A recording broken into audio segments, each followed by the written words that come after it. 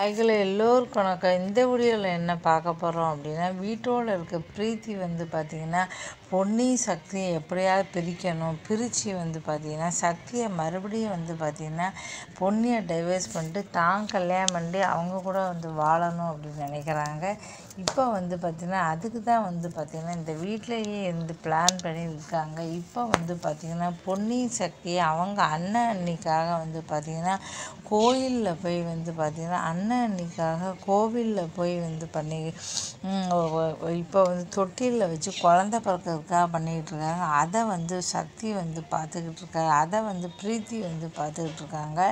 அடப்பாம்பு என்ன பண்ணிக்கிட்டு இருக்காங்க? சக்தி வந்து எப்படி மாறி போயிட்டான் இப்போ வந்து பார்த்திங்கன்னா இந்த அளவு வந்து அவள் எப்படி மாறி போயிட்டான் ரொம்ப ஆச்சரியமாக இருக்கே.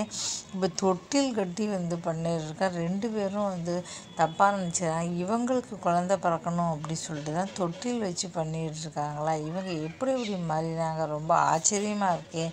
அப்படின்னு சொல்லிட்டு ஆச்சரியத்தோடு பார்க்குறாங்க. எப்படியாவது இவங்களை பிரிக்கணும்? சக்தி வந்து பொன்னி பொன்னின்னு பொன்னி மேலே எப்படி வந்து பாசமாக இருக்கா? முன்னாலலாம் பொன்னியை கண்டாலே பிடிக்காது. இப்போ வந்து பார்த்திங்கன்னா அவன் வந்து பார்த்திங்கன்னா கோயில் வரையும் வந்து இப்படி பண்ணுறானா அப்படின்னு சொல்லிட்டு வயர் எரிஞ்சிக்கிட்டு இருக்காங்க. எப்படி நம்ம பிரிக்க போகிறோம்னு தெரியல நாளுக்கு நாள் வந்து பார்த்திங்கன்னா பொன்னி மேலே இருக்க பாசம் வந்து அதிகமாகிட்டே போகுது. எவ்வளோ சீக்கிரம் முடியுமோ அவ்வளோ சீக்கிரம் இவங்களை பிரிக்கிற வேலையை பார்க்கணும் அப்படின்னு சொல்லி நினச்சிக்கிட்டு இருக்காங்க.